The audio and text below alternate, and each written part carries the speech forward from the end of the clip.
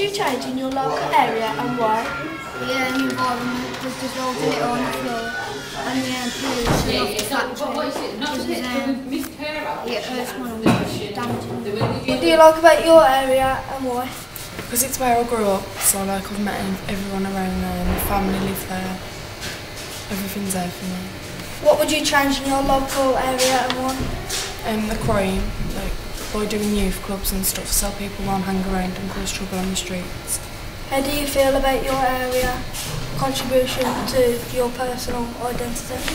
It's where I grew up, so it's the language that I speak, the, my accent, the food that I eat, and the people that I bring us all down into a quagmire of mess. They're making, you know, they're not giving us any jobs, blah, blah, blah. They're re- reaping off the rewards themselves, and it's not making it fair for you guys who are not going to get a job in the future once you've got your degrees, blah, blah, blah. I could go on forever about it. But look at Greece, man. I used to go to Greece every year, and look at it, it's down in the dumps now. You know, if you ever get a chance to go to Greece, go.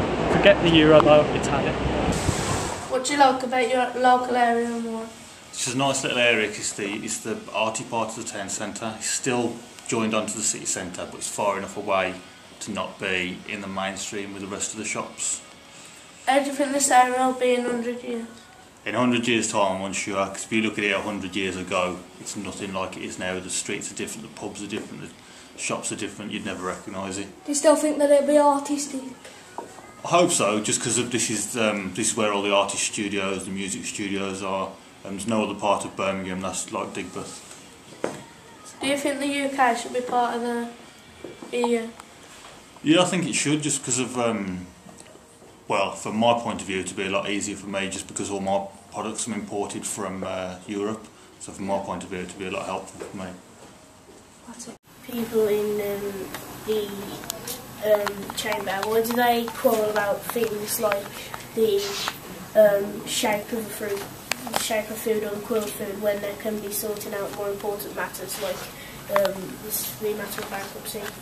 Yeah, well, um, first they do talk about uh, economic and uh, uh, problems, not just that, but many, many other problems, problems connected with transport, women's rights, equal rights for women, that is.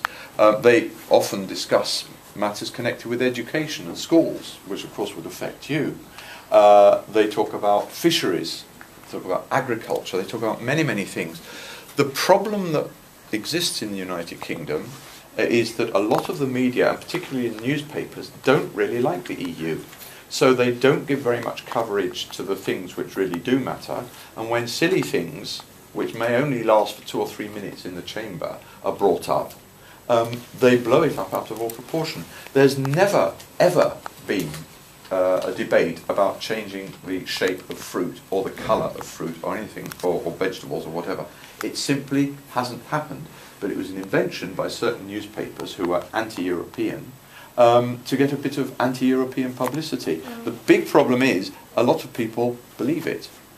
Because what's the alternative? Where else do they go? If you don't speak French and you can't buy a French newspaper, where do you get your alternative information from? Static.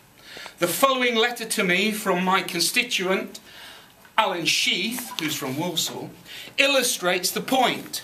Dear Mr Nattrass, on 7th of February 1992, Prime Minister John Major signed the Maastricht Treaty.